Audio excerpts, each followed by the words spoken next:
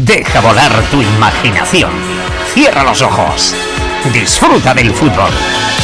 Nosotros te lo contamos. Laberinto Deportivo. De Vía Gestiona Radio Galicia. Todas las tardes de domingo en los campos de fútbol de la provincia, Laberinto Deportivo.